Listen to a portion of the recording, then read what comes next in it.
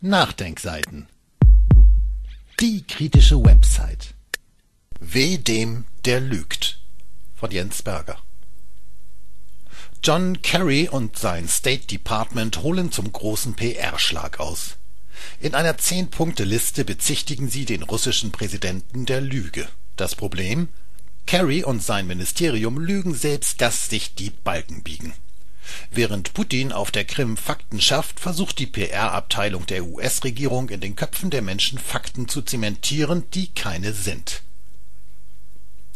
Die FAZ veröffentlichte in ihrer Online-Ausgabe eine Liste des State Department, die redaktionell mit der Überschrift Die Liste der Lügen versehen wurde.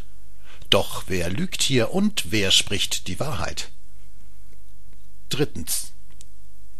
Putin es ist der russischen Opposition nicht gelungen, das Übereinkommen mit Präsident Janukowitsch vom 21. Februar umzusetzen.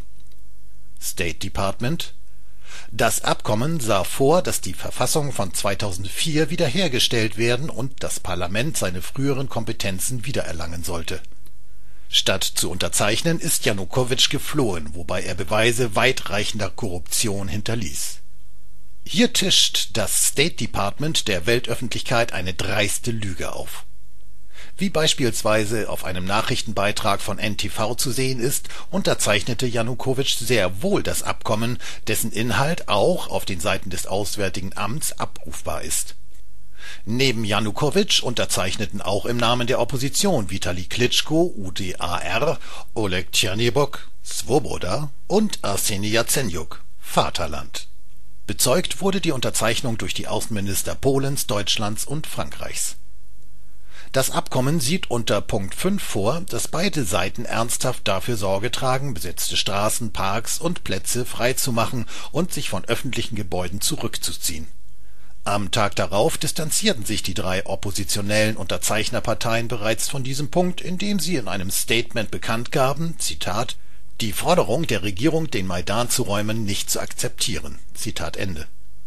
Wer das Abkommen nicht unterschrieben hat, war übrigens die militant rechtsextreme Partei Rechter Sektor, die bereits am Tag der Unterzeichnung ankündigte, ihren gewaltsamen Protest fortzusetzen. Und warum ist Janukowitsch geflohen? Der neue Innenminister ließ sämtliche Wachen und Polizeikräfte abziehen, die seine Residenz bewachten Hätte er dort ausharren sollen und die gewaltbereiten Demonstranten des rechten Sektors mit offenen Armen empfangen sollen? Die Lüge, dass Janukowitsch angeblich das Übereinkommen nicht unterschrieben hätte, wird übrigens auch von John Kerry höchstpersönlich kolportiert.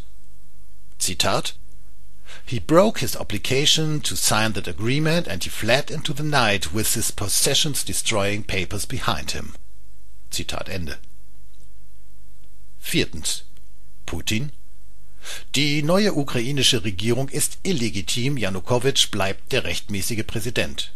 State Department Putin selbst hat Janukowitsch als Mann ohne politische Zukunft bezeichnet. Janukowitschs Partei der Regionen unterstützte nach seiner Flucht die neue ukrainische Regierung. Das gewählte Parlament wählte die neue Regierung mit 82 Prozent der Abgeordneten. In der Parlamentswahl am 25. Mai können alle Ukrainer über die Zukunft des Landes mitbestimmen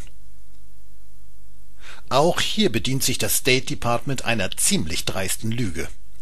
Die Partei der Regionen unterstützte keinesfalls die Übergangsregierung, sondern ging in die Opposition.